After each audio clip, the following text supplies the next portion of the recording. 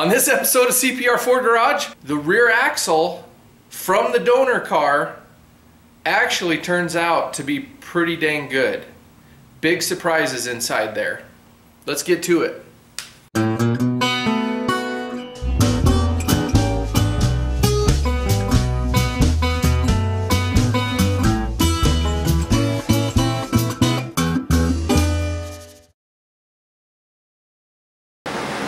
So there's the rear end. We got to move the our C6 transmission out of the way.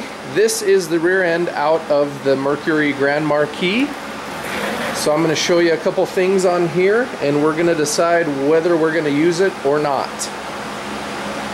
Um, I'm going to show you how to figure out what gear ratio you have and this one has been messed with so the tag on the back is not accurate and that's one way.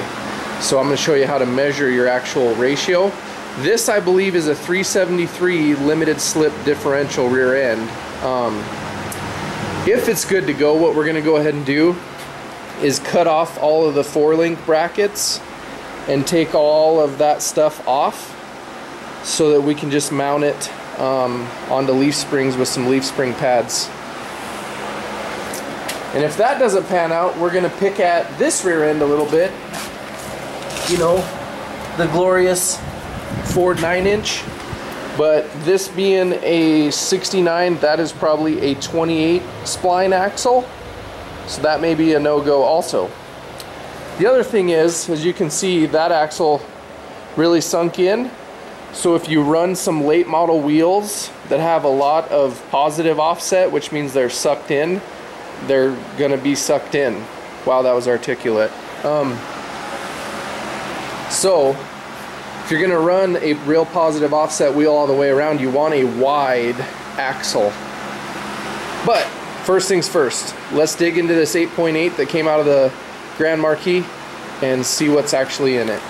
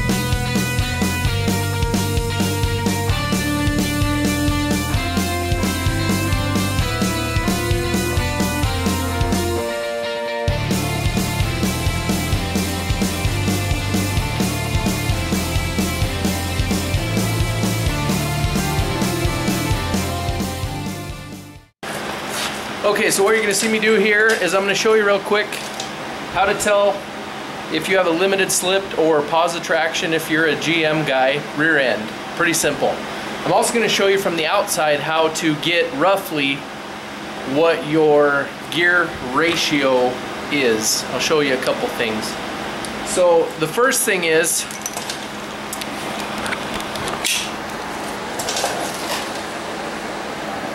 if you turn your pinion flange here. Ooh, that's a little, that's, geez, I'm gonna have to get a pry bar on that sucker. If you turn your pinion, you probably see both tires are spinning forward. If I turn it backwards, both tires are spinning backwards. Boy, that is hard to turn. Um, so this is a limited slip rear end. This, you can tell by the diff cover shape, this is an 8.8 Ford rear end. Okay, so I'm going to attempt to dual film this, and yes, I know I'm way, out of my league here, but you can see the chalk mark on the bottom of the tire, one on the ground right there in case you forget where the ground is at. And then I also have a mark here on top of the pinion flange in relation to this bolt here. So I'm gonna turn this pinion flange and see how many revolutions of this it takes for one full revolution of the tire. So here we go.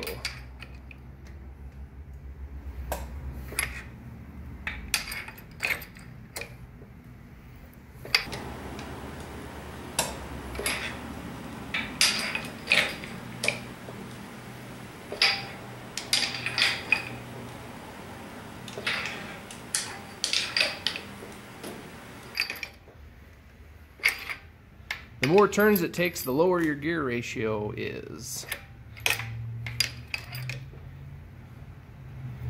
So there's three. And where? The chalk mark is almost there. So I'm to try to kind of keep an eye on both.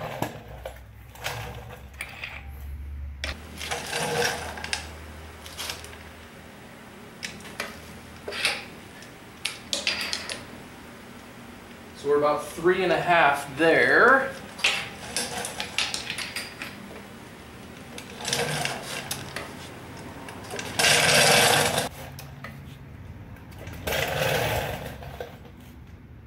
Yeah, a little bit more. Let's say there. Okay. Chalk mark is down. So where is our mark on here is right there. So that is about, it's here in relation to full turn here. So that's about three and three quarters. So this should be about a 373 gear ratio, which the stock Crown Vics and Grand Marquis did not come with. They came with something like 293s or 273s, really high gears. So somebody has swapped this out and made it a limited slip diff and they have also lowered the gear ratio. So this could be really good or it could be not that good at all because if it is a 28 spline rear end still and still a 28 spline, spline and still a 28 spline carrier, I don't trust it to live. So it will go down the road and we'll talk about options B and C.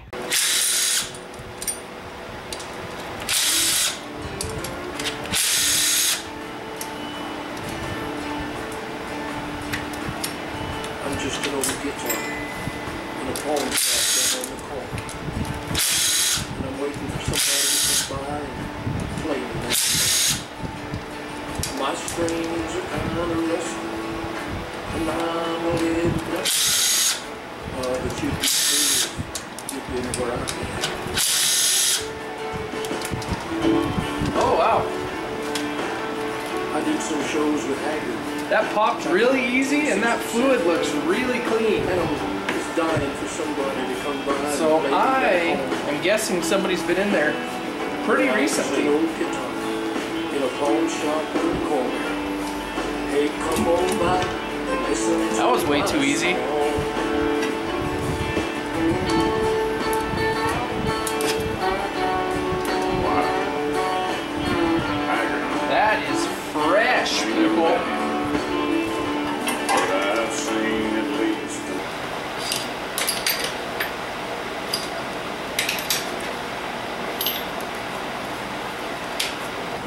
Okay. This does seem to be a well set up, brand new 8.8 rear end. So there is some part numbers on the carrier, but I can't figure out what those are. It sure looks like a Ford Racing Trac-Lok to me. I guess I'm pulling out one of the axle shafts to find out how many splines it is. Um, also, there's no other markings on the gears other than the setup marks. So I'm gonna go ahead and mark one of the teeth on the ring gear and count them up, I guess. 41 teeth on the ring gear, 11 teeth on the pinion gear. Let's take 41 divided by 11. Oh, yeah. 41 divided by 11. They are 373s confirmed. And from everything I can see, they look like they are professionally installed. These are the marks, if you can see those, that the carrier has on it. So, and it's got to be pretty new because it's got the, uh, you know, the little part scanner thing. It has the part scanner laser imprinted mark on there, and those are laser etched. So, this sucker has got to be pretty new. Um, so if you can't read it, AR3W 4026 BB, and then the bottom is 15230 CHR 0A151756.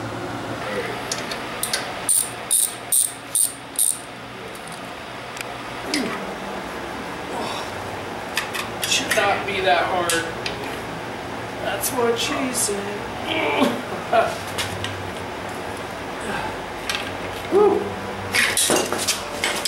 Son of a brisket.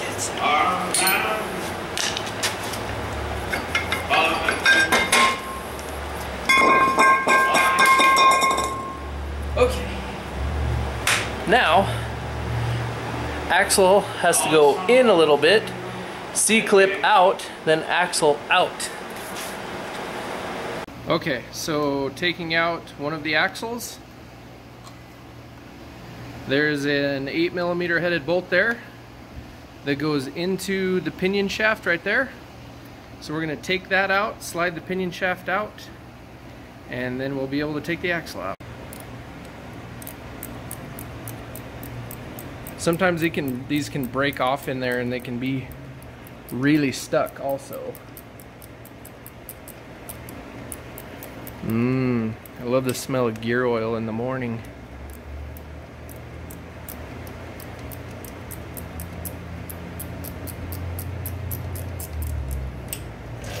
Okay. So as she comes out,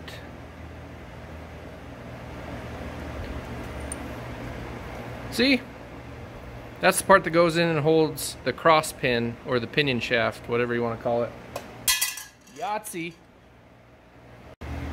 Okay, so it's real free. I can see it already started to move, so should be able to go ahead and just push it out with my finger. Yep, she just came right out. You may have to rotate it a little bit to get that lined up to come out. Now see this little devil right here is called the S-spring. In the name of all that is holy, do not ever take that out unless you have to, because putting it back in, you will take your life in your hands. I'm, I'm here to tell you people. Okay, so now I'm gonna reach over and shove in on that axle shaft and this C-clip will either fall right out or I'll have to dig it out with a magnet.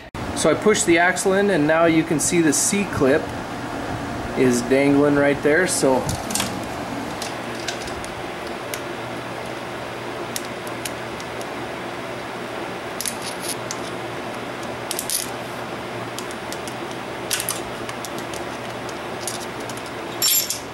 There she goes.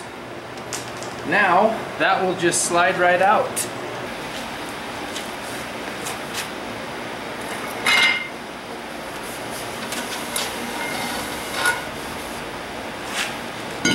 I made my Sharpie mark and then counted all the way around. I got my shoes back on because I had to count uh, fingers and toes.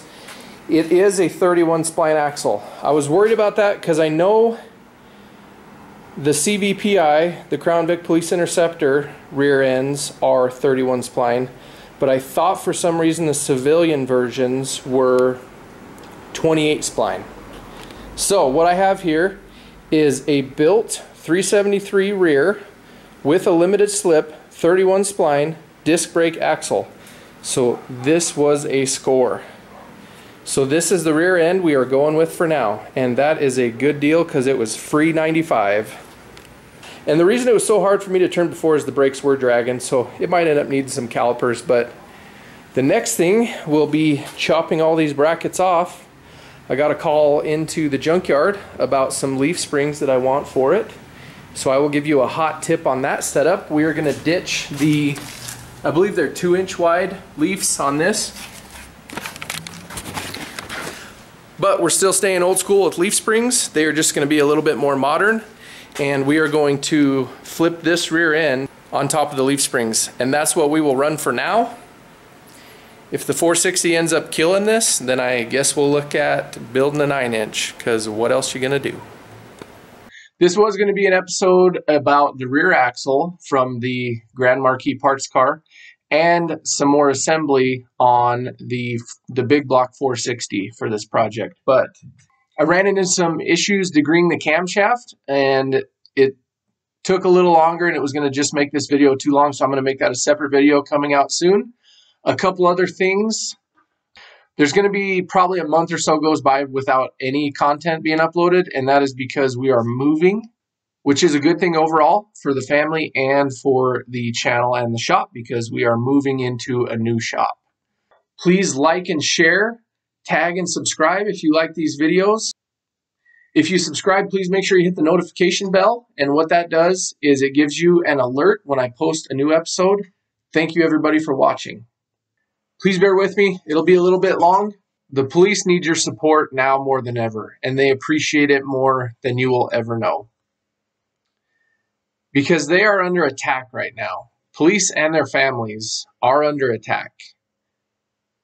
They're under attack because of people that are misinformed, because of lies perpetuated by places like Black Lives Matter and the mainstream media. Yes, your cable news channels that are fueling this fire.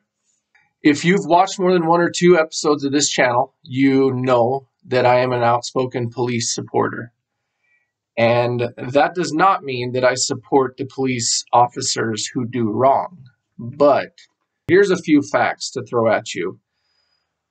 These are headlines from the Associated Press over the last few years um, in regards to Black Lives Matter or BLM. And some of them were from a few years ago when Ferguson, Missouri happened. That was when Officer Darren Wilson shot and killed Michael Brown in a lawful defense of Officer Wilson's life.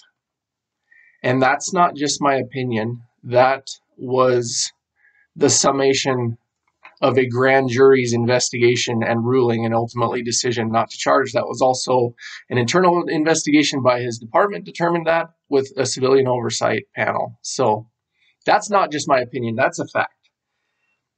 It was ruled to be a lawful defense of his life as he was being attacked by Michael Brown violently. In the time after that, there were several protests, road blockages, riots, looting, just like there's going on now. Um, here's some of the headlines. So I don't know if you all remember Black Lives Matter marching down the street chanting pigs in a blanket, fry 'em like bacon. Do you remember that? Also, uh, shortly after, there was an article released by the Associated Press titled BLM calls for deaths of police and whites. Yes, just white people in general. Um, so more recently, um, there was a an Associated Press article titled BLM leader declares war on police and has said that he would walk around with armed individuals and intervene in police action if necessary. So, everybody who's tripping over themselves to donate to Black Lives Matter um, so that you don't look like you're racist and that you look like you're real woke as a corporation, that's who you're giving money to people who call for the deaths of police officers and the deaths of just white people in general. People out there that are calling to defund the police, um, if if that goes through, you're going to get what you ask for, and that is not going to be a good thing. If you want a preview of what the world is like without police, just go to any third world country where there is not a police presence, and you will see. Because then what happens when there's nobody to stand up in defense of other people is whoever has the most guns or the most weapons or force, that's the person who's in charge. And they are not going to give a shit about your rights. they are going to do what's best for them and trample all over the rights of everybody. If you want warlords and warring factions within a society, lawlessness, that's what you'll get. Basically, whoever has the most guns will take whatever they want from you and you won't be able to do anything about it. It seems to me like ignorance and hate are at an all time high in our country. And I'm not sure if that's true or if that's just what you see on the news and on social media because that's what's being sold and presented to you. The narrative that the media loves to push is that there's institutional racism in the police system in the United States and that police disproportionately kill black and brown men, especially unarmed ones. The facts do not support that at all whatsoever. What happens every day is a lot of exceptional work and police officers performing their jobs admirably all across the world. But the problem is, is that isn't newsworthy and that doesn't fit with the narrative that police disproportionately kill black men. A big part of what's going on today is ignorance. Don't take what the mainstream media gives you and tells you about what is going on. Look into it yourself.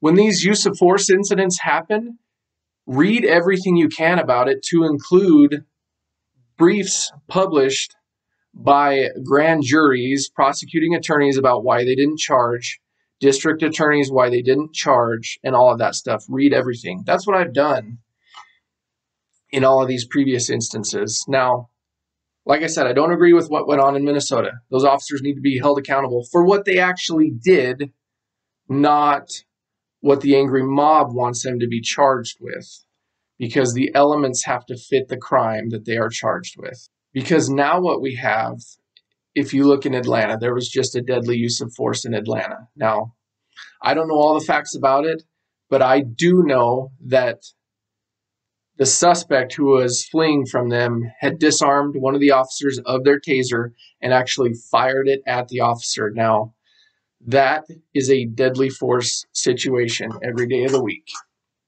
And now you have a mayor who said basically they were within the law to use deadly force, but that they should not have done it just because they could.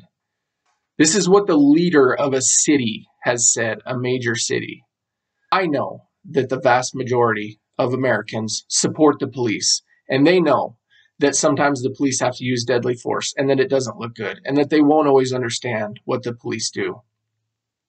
But overwhelmingly, Americans support the police. The problem is is that they silently support the police. And you got to think about all these people who have no stake in what's going on, who are pouring fuel on the fire and inflaming things. You have to the biggest thing I'm saying even if you don't support the police, question what you're being told, okay? Why would these people want to tell me this? What would their end game be? Why would people want to abolish the police? Why would people want to repeal the Second Amendment and take guns away from citizens? Where is this all headed? Well, if we don't learn from history, we're doomed to repeat it. So, question everything, look into everything, research it for yourself, we're going to have a little bit of a different kind of officer tribute. Now, this officer is not dead. He is not killed in the line of duty. But on this episode, we salute Las Vegas Metro Police Officer Shay Mikalonis, and I hope I'm pronouncing that right. On June 1st, 2020, Officer Mikalonis was shot in the back of the head. Had nothing to do with George Floyd's death or what went on in Minnesota, but uh, he is going to have issues for the rest of his life because some coward shot him in the back of the head because this coward believes that all police are evil and all police are just like the very, very small percentage that does wrong. Officer Mikalonis was shot because of ignorance and hate and cowardice. So, what you can do, America, is stand up and say that you're not going to take it anymore and say something. If you support the police, say something. You know what? If you don't agree with my point of view, drop a comment down below. As long as it's respectful and not out of line, I will listen because we need more of that going on in this country. So, what I'm going to leave you with here, and I hope you listen, is Paul Harvey's Policeman um, courtesy of the Pima County Sheriff's Office. This is from their YouTube channel. Uh, I did not get permission before I posted this. This is right from theirs. But I am not going to monetize this video, so I'm not making anything from it. If anybody from the Pima County Sheriff's Office social media or YouTube channel has a problem, please send me an email on my email link to this account. Thanks for watching.